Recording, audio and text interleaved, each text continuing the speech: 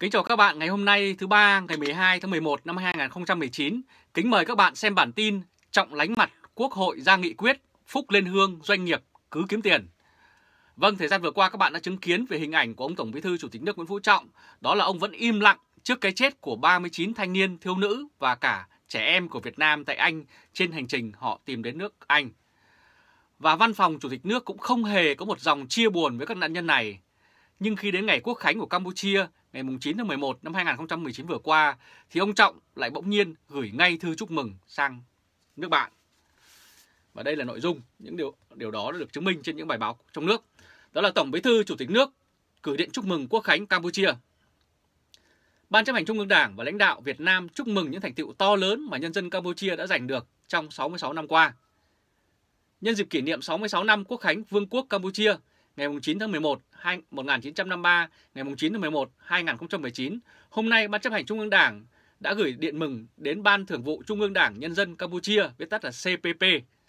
Tổng Bí thư Chủ tịch nước Nguyễn Phú Trọng đã gửi điện mừng đến Quốc vương Campuchia Norodom Sihanouk. Và đây là hình ảnh các bạn có thể thấy thì rất rõ rằng là như vậy là với ờ, việc ông Nguyễn Phú Trọng vẫn có thể xuất hiện và ông vẫn có thể gửi điện chúc mừng ờ, sang những nước khác nhưng ngay công dân của Việt Nam đó là 39 nạn nhân đã bị chết trên chiếc xe ờ, đông lạnh tại ờ, Anh thì đã không được ông quan tâm mặc dù quốc tế và ngay cả Thủ tướng Anh cũng đến tận nơi để viếng những người này. Thì đây là một điều mà chúng ta cần phải quan sát trong thời gian tới. Và có lẽ sau khi đột quỵ lần thứ nhất, người đứng đầu của nhà nước là ông Nguyễn Phú Trọng đã không còn đủ sức để đảm đương hai trách nhiệm lớn nhất cùng một lúc, vừa đứng đầu Đảng, Cộng sản Việt Nam, vừa đứng đầu nhà nước với trên 90 triệu người dân.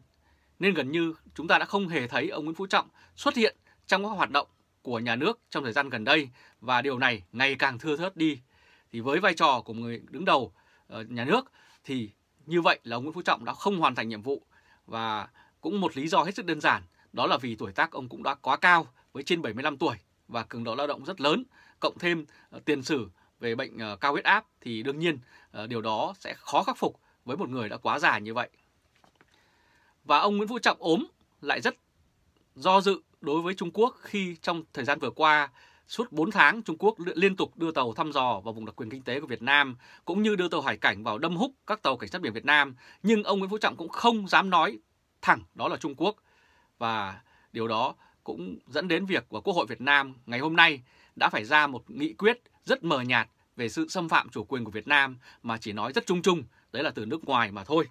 Đây là thông tin mà ngày hôm nay Quốc hội Việt Nam cũng đã công bố về quốc về nghị quyết này. Quốc hội đề nghị chính phủ có giải pháp ứng phó phù hợp trên Biển Đông và chỉ nói chung chung vậy thôi. Và Quốc hội đề nghị chính phủ chủ động theo dõi sát tình hình thế giới và khu vực để kịp thời có giải pháp ứng phó với phù hợp phù hợp với những vấn đề phát sinh, nhất là trên Biển Đông, kiên trì, kiên quyết bảo vệ chủ quyền, quyền chủ quyền, lợi ích quốc gia và lợi ích của người dân trên biển.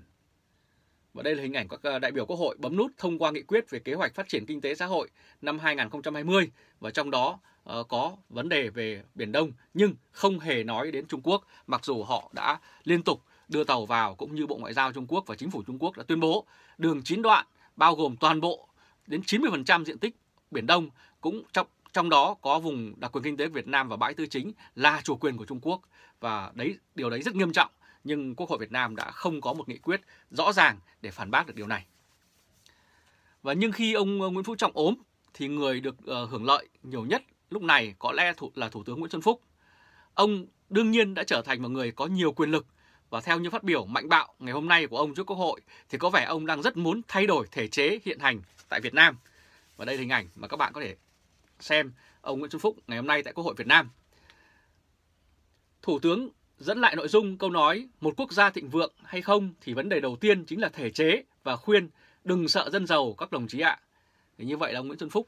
chắc chắn rằng với câu nói này thì có nghĩa là những cái đồng chí của Nguyễn Xuân Phúc trong uh, Bộ Chính trị, trong Ban Bí thư cũng như trong các ủy viên Trung ương Đảng, họ đang rất uh, có những người rất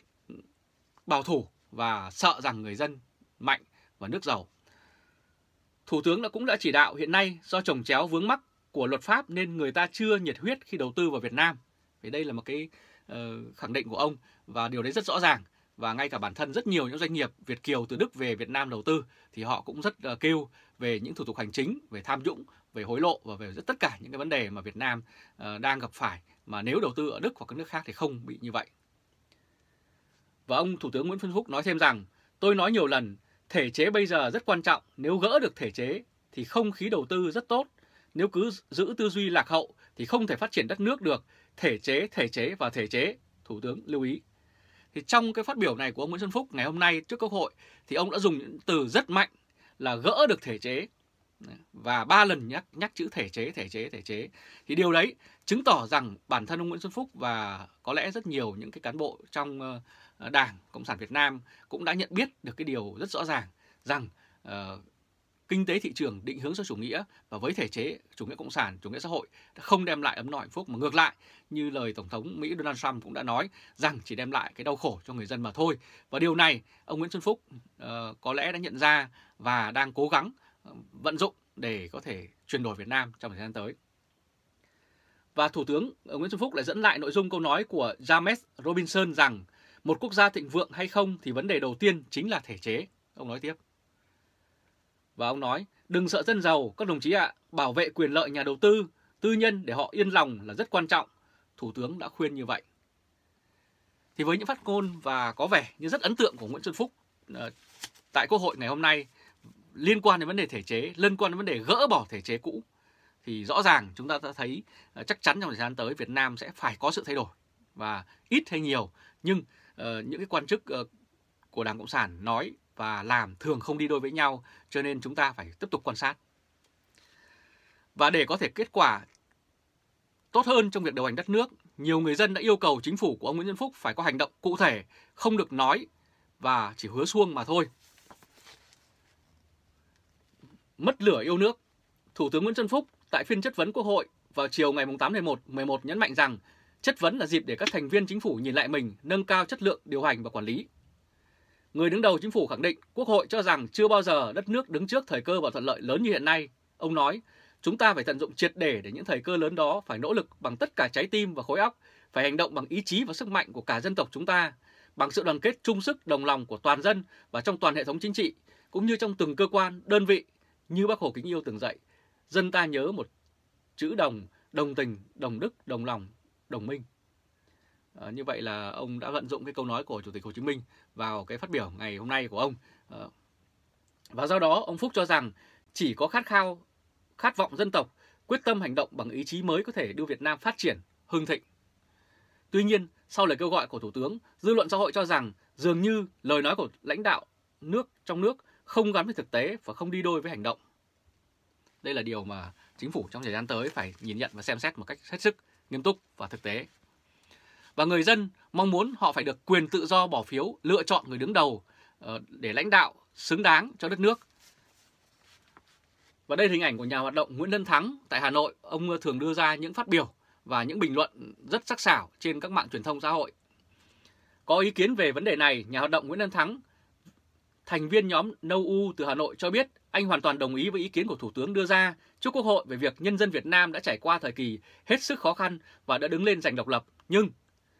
Điều ông Phúc nói thì cũng chưa đầy đủ vì trong lịch sử cũng có nhiều vị vua chúa rất tàn bạo, kém tài, kém đức. Thì khi gặp những trường hợp như vậy thì đất nước suy vong vì có những vị vua đó. Khi người dân có thể đứng lên cùng với triều đình chống lại ngoại bang,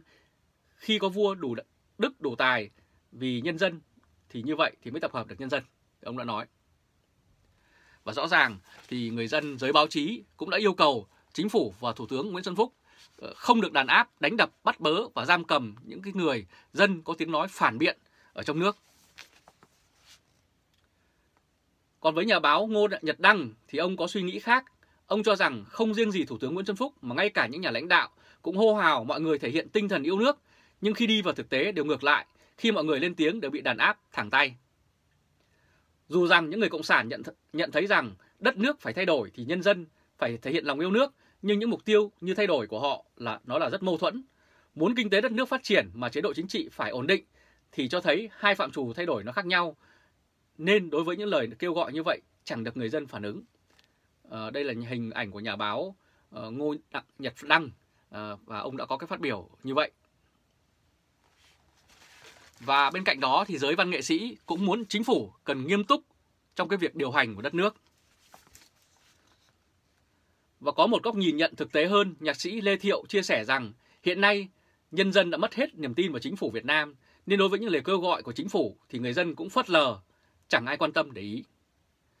Vì chính bản thân Thủ tướng Nguyễn Xuân Phúc đã không có uy tín trên diễn đàn, chỉ nói theo kiểu tào lao thôi, chứ không phải là người chính khách, nên niềm tin của nhân dân không tin vào chính phủ hiện nay và thậm chí Thủ tướng phát biểu như một trò hề cho người dân cười vui vậy đó. Đây là phát biểu của nhạc sĩ Lê Thiệu và ông hiện nay đang sống ở Sài Gòn. Thì đây là cái điều mà người dân đã tâm sự uh, của những cái thông tin của mình uh, trên mạng xã hội và qua những phỏng vấn trực tiếp. Và chính phủ của Thủ tướng Nguyễn Xuân Phúc cần nói và làm nhất quán và tôn trọng quyền con người và tự do cho trên 90 triệu người dân Việt Nam. Đây là hình ảnh chị Huệ Như, một phụ, uh, phụ nữ đang nuôi con nhỏ vì đấu tranh phản đối uh, bốt bẩn Bắc Thăng Long nội bài mà đã bị công an Sóc Sơn đang bắt giam và những con nhỏ của chị đang phải sống cô đơn. Mất niềm tin. Cũng tại phiên chất vấn báo cáo Quốc hội, Thủ tướng Việt Nam Nguyễn Xuân Phúc cho rằng còn quá nhiều vấn đề mà người dân đang bức xúc để giải quyết được những vấn đề đó, mọi người dân phải đoàn kết, chung sức, đồng lòng cùng hành động quyết liệt thì mới có thể tháo gỡ những khó khăn vướng mắc này. Đúng là lời nói của Thủ tướng Phúc không sai, trạch đường hướng của chính phủ Việt Nam đưa ra, nghĩa là chính phủ lúc nào cũng là của dân, vì dân và do dân. Tuy nhiên, nhìn nhận, nhìn nhận lại thực tế, bao nhiêu tiếng nói của giới nhân sĩ, trí thức lên tiếng bảo vệ đất nước đã bị quy kết là phần tử phản động, thậm chí nhiều người trong số họ đã bị bắt bớ và bỏ tù. Ở đây là một trong những người cũng đã bị như vậy, đó là chị Huệ Như. Ờ, và hình ảnh mà chúng ta có thể thấy rất rõ rằng là đây là công hình ảnh của công an Sóc Sơn đang bắt giữ một người phụ nữ ờ, để đưa vào đồn và hiện nay chị vẫn đang bị ờ, giam cầm trong đồn công an và chưa được thả ra. Và chính phủ Việt Nam cần phải thay đổi ngay lập tức ờ, và với việc là phải thả tất cả các tù nhân lương tâm, tù nhân chính trị ra khỏi ờ, các trại giam hiện nay đang ở Việt Nam. Và kỹ sư Trần Bang từ Sài Gòn nhận định Đối với những lời nói đó thì việc tin hay không tin tùy thuộc vào mỗi người, nhưng đối với cá nhân ông thì ông khẳng định là không tin. Các ông hãy thả những người tù chính trị biểu tình yêu nước ra. Anh nói, phải thả hết những tù nhân lương tâm, những người đấu tranh lên tiếng chống Trung Quốc xâm lược bị bắt bỏ tù mà họ cho là là truyền thông nói xấu. Khi nào bỏ cộng sản Đảng cộng sản thì chúng tôi công nhận yêu nước, còn không bỏ thì không yêu nước, có thế thôi. Đảng lãnh đạo mà cho đảng viên sang Trung Quốc Tập huấn thì làm sao nói yêu nước, nói vậy chỉ là giả vờ, mị dân mà thôi. Đây là phát biểu của ông ờ, kỹ sư Trần Bang từ Sài Gòn. Và đây là thời điểm rất thuận lợi để Thủ tướng Nguyễn Xuân Phúc của Việt Nam thực hiện được ước vọng tự do cho nhân dân trong nước. Đó là sớm đưa Việt Nam chuyển đổi sang thể chế dân chủ, tham gia vào các liên minh với Mỹ, châu Âu cùng các nước văn minh trên thế giới để chống lại sự xâm lược từ Trung Quốc và cùng nhau xây dựng và phát triển đất nước Việt Nam. Đây cũng là nguyện vọng của hàng triệu người dân Việt Nam và có lẽ điều này trùng khớp với mong muốn thay đổi của Thủ tướng Nguyễn Xuân Phúc, đó là thể chế, thể chế và thể chế. Rất cảm ơn các bạn đã chú ý theo dõi chương trình truyền hình trực tiếp của Lê Trung Khoa Thời báo.de ngày hôm nay thứ ba ngày 12 tháng 11 năm 2019. Các bạn hãy chia sẻ video này cho nhiều người cùng biết cũng như để lại bình luận và hãy đăng ký YouTube và Facebook của Thời báo.de để có thể cập nhật được những thông tin mới nhất, nhanh nhất và trung thực nhất Trung Khoa Thời báo .de từ Berlin, Cộng hòa Liên bang Đức. Hẹn gặp lại các bạn vào bản tin lần sau. Chào các bạn.